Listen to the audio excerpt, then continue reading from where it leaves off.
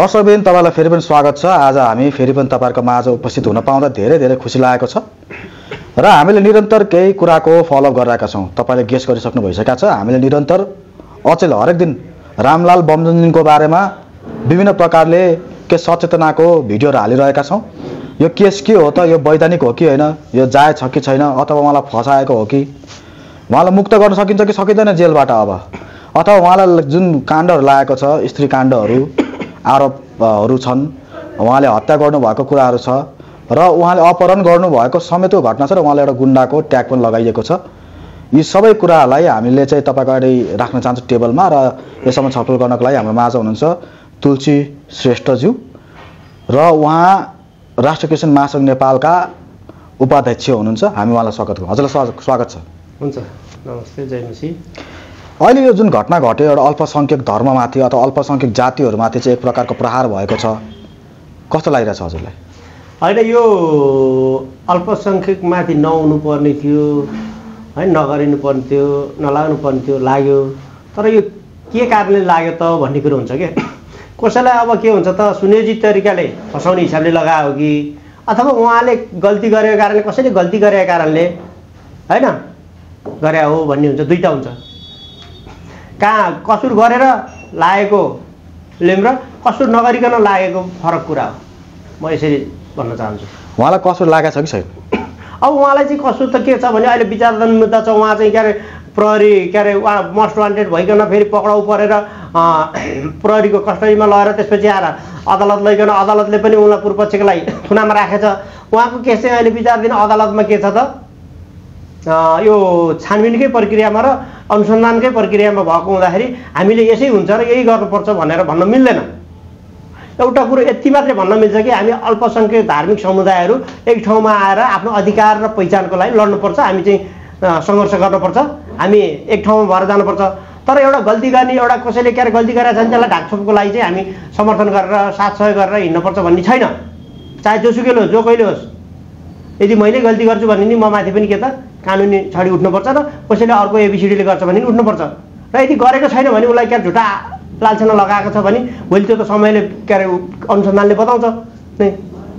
जस्तो क्रिस्चियन धर्ममा तपाईँको यस्ता खालका पात्रहरू छन् कि छैनन्? जस्तो धर्मको धर्मशास्त्रभित्रै र अहिले क्रिस्चियन जगत पनि यस्ता खालका मान्छे छ कि छैनन्? जस्तो विभिन्न प्रकारको चाहिँ प्रलोभन देखाउने स्त्री काण्ड लागेका व्यक्तिहरू छन् कि छैनन्? होइन यो सबै ठाउँमा यत्रो त्यत्रो सर्वत्र छन्। मिडियामा नि आइरहेको कुरा हो होइन? कता के पास्टरहरूले पनि एकताको कसरी गएर बच्चाहरू राखेर यसरी गऱ्यो भनेर के अरे एभि न्युज च्यानलमा नै आएको थियो। होइन त्यो अब के भयो? प्रमाणित अब कानुनले के भन्यो उहाँलाई? कसो छ के छ? त्यो कानुन जान्दछ होइन? सबै ठाउँ हुन्छ यस्तो छुटपुट घटनाहरू हुन्छ तर के त त्यो धर्मले ल्याएको होइन कि त्यो व्यक्तिको आफ्नो स्वार्थको कारण भएको कुराहरू हो स्वार्थ। यो रामलाल बब्दनजीमा जसलाई लिटल बुद्ध बुद्ध बय भनेर पनि चिनिन्छ उहाँ ठुलो तपस्वी हुनुहुन्छ नेपालमा। उहाँको बौद्ध मार्ग मैत्री बौद्ध मार्ग दर्शन भनेर धर्म पनि उहाँले चाहिँ इस्टाब्लिस गर्नुभएको छ। विश्वभरि एक प्रकारको प्रख्या प्रख्यातै रहेछ। विशेष गरी नेपाल र इन्डियाको र नेपालको चाहिँ विशेष गरी हिमाली भेगमा फेमस छ भन्ने सुनिएको छ। अब तपाईँले अघि अल्पसङ्ख्यक धर्मावलम्बीहरू भनेर हाल्नुभयो। यो रामलाल बमजनजी चाहिँ अघि तपाईँले भन्यो यो विचाराधीन हुनसक्छ भन्नुभयो होइन? तर उहाँको घरमा चाहिँ तिन करोड जति नेपाली रकम र अरू विदेशी मुद्राहरू पाइएको छ भन्नुहुन्छ भनेको छ। यो कसरी हामीले हेर्ने यसलाई? यो केसमा त के हुन्छ भने एउटा धर्मगुरुलाई कसैले अब स्वैच्छिक भेटी लिएर जम्मा गरेर राखेको कुरा हो। उहाँको समितिले समिति हुन्छ क्या त्यो धर्मगुरुहरूको नि एउटा समिति हुन्छ एउटा के अरे गुठी हुन्छ। अनि त्योभित्र के त सम्प्रदाय हुन्छ। त्यसमा अध्यक्ष उपाध्यक्ष भनेर सबै फेरि के त पोर्टफोलियोमा के हुन्छ त एउटा संस्था हुनुपर्ने हो संस्थागत रूपले त्यो के अरे जति आय बिहे भयो जति पनि त्यहाँ के अरे भेटी उठिरहेको छ त्यो चाहिँ पारदर्शी रूपले कति आयो कति खर्च भयो र कति बचत छ र त्यसले के गर्ने? आफ्नो धर्मको लागि अभ्यासको लागि केमा खर्च गर्ने भन्ने कुरो पारदर्शी हुनु पर्थ्यो। त्यो व्यक्तिगत रूपले घरमा लगेर राखेपछि ए राख्दा हुन्छ भनेर मान्छेले भन्छन् तर कानुन सम्मत नहोला त्यो होइन? हामीहरू पनि त चर्चमा भेटीहरू उठ्छ नि त। हामीले के गर्छौँ त भन्दा त्यो सबै चर्चको उसबाट त्यहाँ उहरू छ के अरे सदस्यहरू छ होइन? यतिजनाको एघारजना पन्ध्रजना होइन सातजनाको। त्यो सदस्यहरूको बिचमा राखेर त्यसलाई के गर्छ त एउटा कोषाध्यक्ष छ अथवा सचिव छ उनीहरूले कहाँ राख्न पर्ने? ब्याङ्कमा राख्न पर्ने कि सहकारीमा राख्न पर्ने? केमा राख्न पर्ने होइन? त्यो चाहिँ व्यवस्थापन गरे हुन्छ त्यो व्यवस्थापन समितिले गर्छ। त्यसै नै व्यवस्थापन समितिले गर्न पर्ने त्यसरी एकाएक ठुलो परिणाममा के अरे के अरे रकमहरू धनधनहरू विदेशी मुद्राहरू यसरी व्यक्तिगत उसमा लिएर कानुनले पनि के त वर्जित गरेको छ। त्यो अब अनुसन्धानकै बाटो छ अब प्रहरीले गरेको छ के अरे हस्तक्षेप गरेर बरामद गरेर लगेको कुरा हो। त्यो पछि अब कानुनले के भन्छ अदालतबाट फैसला होला त्यो हेर्न बाँकी त्यो त अब कसैले ल तपाईँ गाडी किन्नुहोस् भनेर चाहिँ बिटाका बिटा पैसा ल्याएर दिएको नि हुनसक्छ नि। गाडी किन्नुहोस् भनेर एउटा तपाईँलाई व्यक्तिगत रूपमा तपाईँले आएर मलाई पचास लाख साठी लाख दिन सक्नुहुन्न र? गाडी नै किनेर ल्याएर दिए हुन्थ्यो नि त। पचास लाख भनौँ न पचास लाखमा उहाँले चाहे गाडी नै आउँदैन थियो जस्तो प्राडो हो त्यसको त करोडौँ पर्छ। अहिले उहाँको लगभग छ करोडकै सात करोडको गाडी प्राडो उहाँले किन खोजेको हो भन्ने कुरा आइरहेको छ नि त। त्यो त उहाँलाई चाहिँ त्यो भेटी त्यो रकम चाहिँ उहाँले जम्मा गरेर राखी पो राखेको हो कि? होइन त्यो ठिक छ उहाँले राखिरहेको हो भेटी जम्मा गरेर राखेको पनि ठिक छ। मान्छु तर त्यो पारदर्शी हुनु पऱ्यो नि त। उनको त्यहाँ छ नि त के अरे त्योभित्र के अरे रामबहादुर बमजन मात्रै एकजना व्यक्ति होइन नि त। त्यहाँ समुदाय छ नि त। उसको धर्म अनुयायीहरू छ नि त। त्यहाँ अनि त्यसपछि समिति छ होला नि त सञ्चालक समिति। त्यो व्यवस्थापन समितिले भन्नु पऱ्यो नि त। यो यसको लागि ल्यायो यो गरेको भनेर त गर्न सक्नु पऱ्यो नि त। पुष्टि गर्नु सक्नु पऱ्यो नि त। यहाँबाट आएको भन्ने कुरो। जहाँबाट जुन पैसा पनि ल्याएर चलाउनु मिल्दैन। किनभने कतिपय पैसा तपाईँलाई कसैले दियो भने पनि त चलाउनु मिल्दैन। अहिले आतङ्ककारीहरूले ल्याएर के त अरबौँ पैसा दिएला अरे मलाई। मैले त्यो पैसा चलाउनु मिल्छ? मिल्दैन नि। त्यो पैसा लिनुहुन्न नि। वैधानिक रूपले कसैले कमाएको आफ्नो कमाइबाट टेन पर्सेन्ट भन्ने हुन्छ नि हाम्रो बाइबलमा तसर्थ भेटी ल्याएर दिन्छ चल्छ भने त्यसलाई के भन्छ तसर्थ स्वीकार्न सक्यो र त्यसलाई राम्रोसँग पारदर्शी रूपले खर्च गर्न पाइयो। तर त्यही एउटै व्यक्तिले अरबौँ पैसा ल्याएर म दिन्छु भनेर चर्चमा दियो भने पनि त्यो कसरी आएको कहाँबाट आएको के आएको स्रोत खोल्नुपर्छ। त्यही भएर कानुनमा के छ? राष्ट्र ब्याङ्कको अब मापदण्ड होला सरकारको कानुन होला नीति होला त्यही अनुसारले हामी जानुपर्छ। हामीले विधान हाम्रो के अरे देशको संविधान भन्दा बाहिर हामी जान मिल्दैन। जस्तो तपाईँको विचारअनुसार चाहिँ यी व्यक्ति अब रिलिज हुन्छन् कि हुँदैनन् रिहाई हुन्छन् कि हुँदैनन्? यस्तो छ। जेलबाट। अब के उहाँको स्त्री पुरा- लागेको पछि त उहाँ घटना तिन महिना त त्यहाँ रहन पर्ने हुन्छ। अब जुन जुन ऊ लागेको छ ब्लेम लागेको छ उहाँमाथि आरोप लागेको छ त्यो आरोप पुष्टि हुने आधार के र नहुने आधार के भन्ने कुरो त्यसैमा अहिलेसम्म त्यो प्रमाण दिन सकेको छैन। अख्तियारले। अख्तियार दिन दिन सकेको छैन प्रमाण। भन्नाले अब अख्तियारले होइन अब यो अदालतले गर्ने कुरो हो। अदालतमा गएको केस अदालतले हेर्छ। उहाँले को कोलाई बेपत्ता पार्यो को कोलाई पारेन। कहाँ कहाँ कति के गर्यो भन्ने कुरो होइन। अदालतमा छ विचाराधीन मुद्दा छ। त्यसमा हामीले यसै हुन्छ भनेर बोल्न मिल्दैन होइन अहिले। अब उहाँलाई चाहिँ ठिक छ। राम्रो होस्। उहाँले केही पनि नगरेको होस्। उहाँ सज्जन होस्। उहाँ बाइजेत रिहाई होस् भनेर हामी प्रार्थना गर्न सक्छौँ। हामीले के त एउटा सद्भाव रूपले उहाँलाई चाहिँ प्रार्थना गरिदिन सक्छौँ। तर उहाँ अब दोषी ठहरिनु भयो भने त भोलि कसैले पनि कसैलाई त्यो गर्नै सक्दैन। यसमा तपाईँलाई व्यक्तिगत रूपमा होइन जस्तो को को संलग्न हुनसक्छ जस्तो कसैले त उहाँको विरुद्धमा षड्यन्त्र पनि रच्या हुनसक्छ नि त। षड्यन्त्र पनि हुनसक्छ नि यस्तो अब पावरफुल। व्यक्तिको विरुद्धमा त। तपाईँले हामी बाइबलमा हेऱ्यौँ भने अथवा हिन्दू धर्मशास्त्रमा हेऱ्यौँ भने अब गौतम बुद्धकै लाइफमा हेऱ्यौँ भने पनि यी सबै पात्रहरूको विरुद्धमा केही न केही षड्यन्त्रहरू उहाँकै नजिकको मान्छेले पनि खेलेका थिए नि त। त्यो थियो के अरे हिजो पनि छ धर्मग्रन्थहरूमा पनि छ। आज पनि हुनसक्छ षड्यन्त्र पनि हुनसक्छ तर त्यही भएर त अहिले अनुसन्धानको क्रममा रह्यो। अनुसन्धानले भन्छ नि त। हजुर। अनुसन्धानले त षड्यन्त्र भएको हो कि अथवा नभएको हो कि अथवा यो चाहिँ के अरे साँच्चै नै उहाँ के अरे त्यही टाइपको जे जे आरोप लगाएको छ त्यसमा पुष्टि हुने हो कि त्यो त बाँकी नै छ नि त। आउनु अहिले त्यसमा चाहिँ हामीले बोलिहाल्नु सबै ए यत्रो त्यत्रो भनेको छ नि त यसो गर्यो उसो गर्यो यहाँ हुनु पनि यो हुनु पनि त्यो हुनु पनि भन्नु पनि केही पनि छैन। त्यही के अरे उसमा के अरे कस्टडीमा बस्दैमा कसैलाई झुटो मुद्दा लाएर बस्दैमा उहाँ चाहिँ त्यो के अरे दोषी नै हो भन्न मिल्दैन। जब अदालतले फाइनल्ली ऊ गर्दैन नि के अरे के भन्छ के अरे निर्णय आदेश भनौँ अब के अरे फैसला गर्दैन नि श्रीमानले। न्यायाधीशबाट फैसला जुन आउँछ त्यही नै अधिकारी हुन्छ।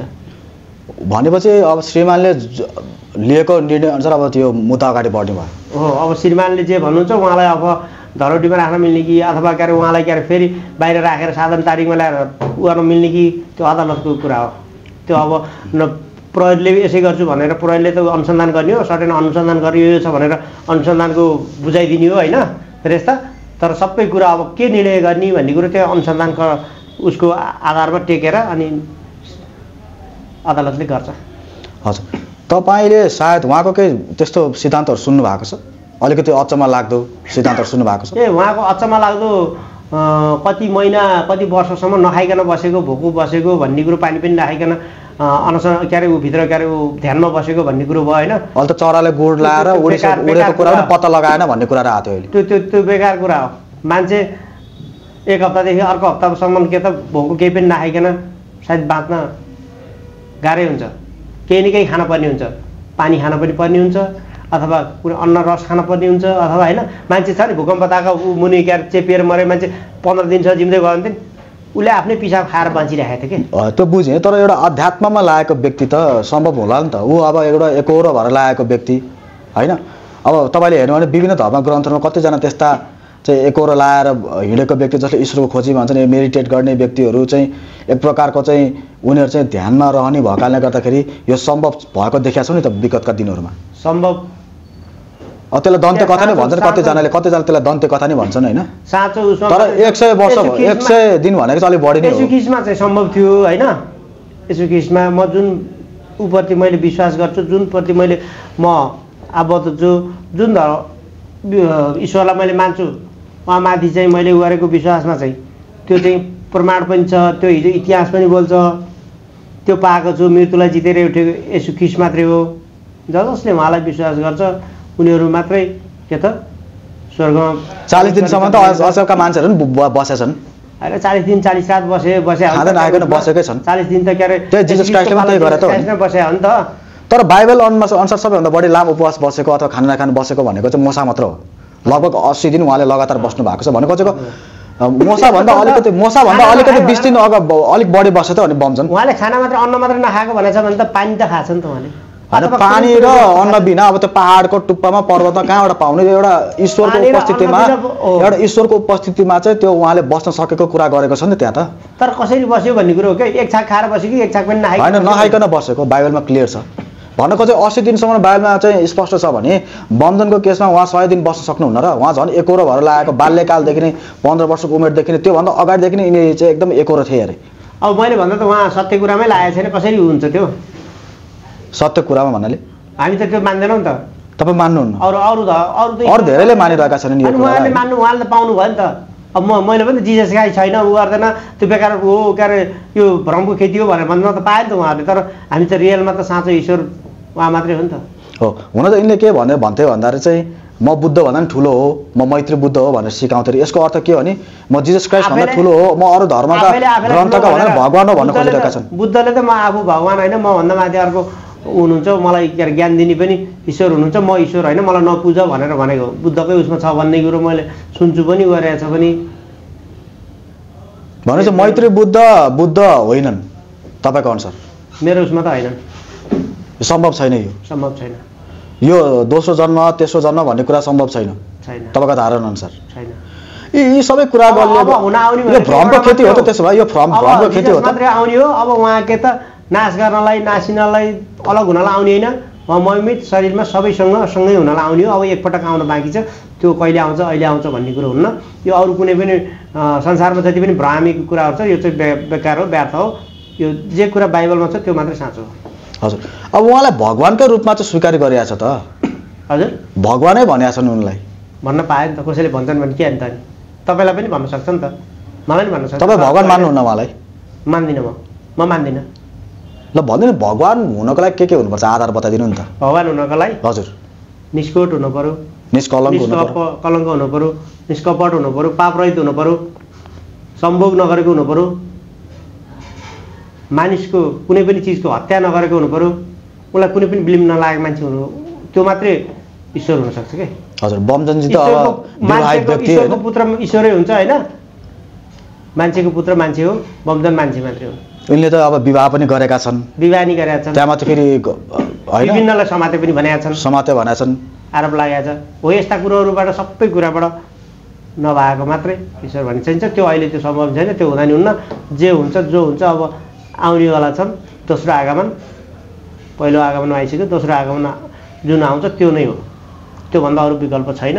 त्यो मान्छे अरू चाहिँ भनेको त टाइम पास गर्ने बाटो मात्रै हो। जस्तो बाइबल यस्ता खालका पात्रहरूको बारेमा के भन्छ त? जस्तो अब कतिले मलाई म मै हो भगवान् भनेर आउँछन् नि। हजुर। अथवा कुनै पनि धर्मशास्त्रले जस्तो चाहिँ वेदले पनि के भन्छ त? होइन त्यो त केही त हिँड त होला नि हजुरलाई। होइन। यस्ता पात्रको बारेमा के छ? कोरानले के भन्छ यस्तो पात्रको बारेमा? जसले मै हुँ भगवान् म बाहेक कोही पनि छैन। भनेर घरिघरि नयाँ नयाँ व्यक्तिहरू जन्मिरहन्छन्। तीमध्ये चाहिँ नेपालका रामलाल बमजन पनि अब उनीहरूको के छ भने आफ्नो ऊ छ नि सठिक समुदायले उहाँलाई त्यसरी मान्यो लग्यो। त्यो नैसर्गिक अधिकार व्यक्तिको आफ्नो आफ्नो अधिकार छ। त्यो व्यक्तिगत अधिकारमाथि हामीले हस्तक्षेप गर्न मिल्दैन गर्न मिल्दैन। संविधानमा रहेर गर्छ भने सबै थोक छुट हुन्छ। संविधानभन्दा बाहिर गयो भने यसरी नै जेल जाने त्यही हो काम। भनेपछि संविधान संविधान त अब अलिकति आध्यात्मिक नहुन सक्छ नि। नैतिक पनि रहेर गर्नु पर्यो नि त। एउटा के अरे भगवान् बन्न ऊ गर्ने भन्ने लिटिल बुद्ध हो भन्नेले नैतिकवान काम गर्नु परेन। उसले त कस्तो बिहेभ गरेको थियो एकपल्ट त्यहाँ पत्रकार जाँदा पनि त्यहाँ उ गरेर देख्नु भयो होला नि तपाईँले आएको थियो नि त पत्रकारमाथि अट्याक गरेका थिए। विभिन्न किसिमको भा आइरहेको थियो फन्डाहरू होइन? त्यो हेर्दाखेरि त त्यसै बुझिन्छ नि त उहाँको आतङ्क कस्तो थियो भन्ने कुरो त्यति बेला के? हो हामी मान्छौँ। किनभने अल्पसङ्ख्यक धार्मिक समुदायमाथि राज्यले थिचोमिचो गर्नुहुन्न। त्यो माथि के त राज्यको निकायले के त सुरक्षा दिनुपर्छ उनीहरूलाई के अरे संरक्षण गर्नुपर्छ। उनीहरूलाई के अरे राज्यले अरू सबै ठुला धर्म धेरै मानिसहरूलाई दिने जस्तो उच्च आरक्षण त्यसरी नै दिनुपर्छ होइन? त्यसमा हाम्रो विमति भएन त्यसमा दिनुपर्छ। तर त्यो दिने भन्दैमा चर्चित भयो भन्दैमा विश्वभरि नाम प्रख्यात गऱ्यो भन्दैमा तर कानुनलाई लाई नागेर उल्लङ्घन गरेर गर्ने छुट त कसैलाई पनि छैन नि त। न सन्दीप लामी छानेलाई छ न रामबहादुर बमजनलाई छ न एबिसिडी कसैलाई छ। हजुर हजुर। अब यी सबै दुःख लाग्दो कुराहरू भइरहेको छ होइन? तपाईँ आफै पनि विभिन्न समस्यामा जुधिरहनु भएको छ तपाईँको समुदायमा पनि त्यस्तो धेरै बेमेल र अमेलका कुराहरू छँदैछन् होइन? अब यो जुन नयाँ घटना अचानक घट्यो पहिला त अब अरेस्ट गर्न सकेका थिएन नि त्यो व्यक्तिलाई। यो त गुमनाम थिए। अब अहिले अरेस्ट गर्दै गर्दाखेरि फेरि एउटा नयाँ बोझ परेको जस्तो लाग्दैन तपाईँलाई? किन तपाईँका विभिन्न साथीहरू छन् जो। चाहिँ उहाँलाई चाहिँ एउटा भगवान् भनेर मान्छन् ईश्वर भनेर माग्छन्। जब मान्छे के हुन्छ भूमिगत भएर हिँड्छ जबसम्म लुकेर हिँड्छ भागेर हिँड्छ नि कति दिन भाग्ने एक दिन एक दिन त आखिरी पक्राउ हुन्छ नि त। त्यही भएर जब कानुनले खोज्छ नि त्यो कानुनको उसमा कठ कठघरामा उभिनै पर्छ। उभिएर आफ्नो के त जस्टिफाई गर्नै पर्छ उसले। यदि सत्य यदि ऊ झुट छ भने झुट साबित हुन्छ यदि सत्य छ भने सत्य साबित हुन्छ होइन? झुटको झुट सत्यको सत्य नै हुन्छ होइन? त्यही भएर अब धेरै मानिसहरू के हुन्छ नि म पपुलर भएँ म त यस्तो भएँ भने हिजो राजाको पाला राजा महाराजा पाला के थियो भने उनीहरूले जे गर्दा नि हुन्थ्यो। बलात्कार गर्दा पनि छुट हुन्थ्यो मान्छे मार्दा पनि छुट हुन्थ्यो। उनीहरूको स उसले चाहिँ के अरे पैसा पाँच लाख दस लाख बिस लाख जति तोकेर तलब खाँदा नि हुन्थ्यो। अब हामीले के अरे प्रजाहरूले खाँदाखेरि हाम्रै पालामा राजा हुँदाखेरि हामीले चौध सयमा तलब जाहिर खान पर्थ्यो होइन? सात सयमा दुई सयमा तिन सयमा काम गर्नु पर्थ्यो होइन? महिनाको त्यति तलब लिनु पर्थ्यो भनेपछि त्यो ताकामा पनि उनीहरूले के गर्थ्यो त सात लाख आठ लाख दस लाख बिस लाख सेलेक्ट खाएर त रहेछ छ नि त रेकर्ड। भनेपछि अनि मान्छे के भन्छ फेरि अहिले पनि रातो चाहियो अर्को को ऊ चाहियो के चाहियो भन्छ नि अनि हिन्दू धर्म चाहियो रा भन्छ नि त्यो होइन। कुनै पनि यस्ता के त सामन्तवादहरू जस्तो एकलवादहरू हुन्छ नि एकात्मक प्रणालीहरू संसारमा काहीँ पनि सक्सेस नै हुन्न त्यो हुन नि हुन्न। र अब अहिले के त गणतन्त्र धर्मनिरपेक्ष त्यो समावेशी सङ्घीयता यो नै सुन्दर हो बाटो हो। मानव जीवनको सुन्दर बाटो भनेको यही हो। हो यही भित्र रहेर हामीले के त सबै फेरि फेरि रहेर सबैलाई सम्मानजनक के छ। कानुन बनाएर कानुनको पालना गरेर हिँड्नुपर्छ। हजुर। अब नेपालमा इसाई धर्म एउटा अल्पसङ्ख्यक धर्म हो र जातीय रूपले हेर्ने भने जुन बमजनजी जुन समूहको हो तामाङ समुदायलाई पनि एउटा चाहिँ हेपिएर चाहिँ राखिएको छ। उहाँहरू मूलवासी हुनुहुन्छ। र साथै उहाँको धर्म पनि एउटा अल्पसङ्ख्यक धर्म त हुँदै हो। तर यो हुँदै गर्दाखेरि अहिले आरोप के लागेको छ भन्दाखेरि यो त इसाईहरूले गरेको हो है। यो त युरोपियन युनियनले गरेको हो है। जुन समुदायमा हजुर अहिले हुनुहुन्छ। इसाई समुदायमा। अहिले रमजान बमजानमाथि भएको षड्यन्त्रहरू चाहिँ इसाईहरूले गरेका हुन् भन्ने कुराहरू चाहिँ विभिन्न अतिवादीहरूले बोल्दै आएका छन्। यसलाई चाहिँ तपाईँले कसरी प्रतिकार गर्न चाहनुहुन्छ? त्यो बेकारका कुरा हुन्। यो कुनै पनि मौका गर्न यो के अरे इसाईहरूसँग उहाँको कुनै पनि नलेन छ नदेन छ न केही छ। होइन? उहाँको आफ्नो तौर तरिका छ। उहाँ आफ्नै तरिकाले लागिरहनु भएको छ। त्यसो भए त सच्चाइ आयो नि त क्रिस्चियनकै म बाइबल यही हो भनेर सच्चाइहरू छ नि त। तर हामीले त सच्चाइ त हाम्रो उसभित्र त पर्दैन नि त। प्योर क्रिस्चियनिटीमा त पर्दैन नि उहाँहरू। तर बाइबल त त्यही ल्याएको छ नि उहाँहरूलाई पो हामीले निस्तेज गर्नुपर्ने हो त। खै उहाँहरूलाई पनि छुडा खुल्ला छ त ओपन छ त। भनेपछि उहाँहरूसँग पो हाम्रो टक्राप हुनुपर्ने थियो छैन त हामीलाई होइन जसले जे गरे नि आफ्नो तरिकाले कानुनमा रहेर गर्न पाउँछ। उहाँले त्यो क्यारे यो युरोपियन युनियनले गर्यो के गर्यो भने यो बेकारको त्यो यहाँ अमेरिकालाई गाली गर्छन्। यो देशमा होइन अमेरिकाकालाई टुप्पी झर्नी गरेर घोक्रो सुक्नी गरेर गाली गर्छन्। भोलिपल्ट बिहान यहाँ यो अमेरिकन एम्बेसी ऊ छ नि अमेरिकन एम्बेसीको अगाडि आउनुहोस् बिहान सात आठ बजेको टाइममा। ए, मेला हुन्छ जात्रा। त्यहाँ हजुर तछाड मछाड त्यहाँ के अरे गाडी नै जाम। हो गाडी नै जाम हुन्छ बाटै जाम हुन्छ यहाँ अमेरिका जानको लागि। अनि के कुरा गर्ने? त्यस्तै युरोपमा के अरे गर्नको लागि गर्छन् युरोपियनहरूलाई गाली गर्छन्। अब फेरि त्यहीँ मान्छे मर्या फेरि त छाड पछाड गर्छ। मान्छे यो के छ भने मान्छे समृद्धि चाहन्छ खुसी चाहन्छ काम गरेर पनि ढुक्कताको जीवन जिउन चाहन्छन् सम्मानजनक जिउन जीवन जिउन चाहन्छ। त्यस कारणले यो मानिस जातिहरू के छ त समृद्धि चाहन्छ। यहाँ नेपालमा समृद्धि छैन। भन्न खोजेको यो चाहिँ एउटा यस्तो अतिवादीहरूको एउटा खेल हो जसले चाहिँ यो बमजन बिचको सम्बन्ध र क्रिस्चियनको सम्बन्धलाई भाड्ने काम भएको छ। भन्न खोजेको तपाईँले त्यही नै हो हामीसँग उहाँको कुनै उ नै छैन। हामीले उहाँलाई विरोध गर्नुपर्ने छैन उहाँले हामीलाई विरोध गर्नु हामी उहाँसँग कुनै उहाँको उसलाई पनि हामी मान्दैनौँ उहाँको उसलाई के त उहाँको अस्तित्वलाई हामी स्वीकार्छौँ उहाँले आफ्नो उ गरेर जान पाउनुभयो संविधान कानुन अनुसारले। तर हामी चाहिँ के त उहाँले गरेको ठिक हो भनेर हामी उहाँको लागि थप्पड पिटेर हामी समर्थन गरेर जाँदैनौँ होइन? हाम्रो समुदायले जानु नि मिल्दैन होइन? बाइबलीय सिद्धान्त फरक र उहाँको सिद्धान्त फरक हो। ठिक छ उहाँले गरेको कुरामा हामीलाई कुनै पनि आपत्ति पनि छैन फेरि। हजुर। भन्न खोजेको तपाईँले जति नै हिन्दू अतिवादीहरूले मौका छोप्न खोजे तापनि छारो हाल्न खोजे तापनि अल्पसङ्ख्यक धर्मावलम्बीहरूको बिचमा चाहिँ धार्मिक भनौँ न अवस्था चाहिँ खलल हुने छैन। अथवा बमजनको बिचमा जुन उहाँको धर्म छ र इसाईहरूको धर्म चाहिँ यहाँ चाहिँ एकअर्का बिचमा दुश्मनी आउन दिने छैन भन्नु खोज्नुभयो तपाईँले। यो त प्रयास त गरिरहेको छ नि उनीहरूले। यसको यो बिउ रोप्न त प्रयास गरिरहेका छन्। असफल प्रयास हो त्यो असफल हुन्छ त्यो सफल हुँदैन त्यस्ता कुराहरू होइन? आउँछन् समय समयमा यस्ता कुराहरू होइन? कति अब जस्तै अब ओ कोभिड आयो नि त आयो नि त धेरै मानिसहरूको मृत्यु पनि भयो। तर सधैँ त कोभिड आइरहेको छैन नि त। आउँछ फेरि जान्छ यस्तो समयको परिवर्तन छ। समयअनुसारको के हुन्छ? परिवर्तन अनुसारको मान्छेहरू के हुन्छ त? विचार परिवर्तन हुन्छ विमर्श परिवर्तन हुन्छ होइन? मान्छेको हेर्ने दृष्टिकोण परिवर्तन। तपाईँ र म अहिले यहाँ अगाडिबाट नजिक हेर्दाखेरि कति हुन्छ टाढाबाट पछाडि हेरेर त हामी दुईजना सँगै उ गरेको जोडिएको जस्तो पनि देखिन्छ होइन? दृष्टि पनि भ्रम हुन्छ। कतिपय कुराहरू आँखाले देखेको कुरो पनि सत्य हुन्नन् होइन? त्यही भएर सबै कुराहरू आफैले छामेर हेरेर गरेर देखेर मात्र अनि त्यसपछि के हुन्छ त? स्पष्ट रूपले।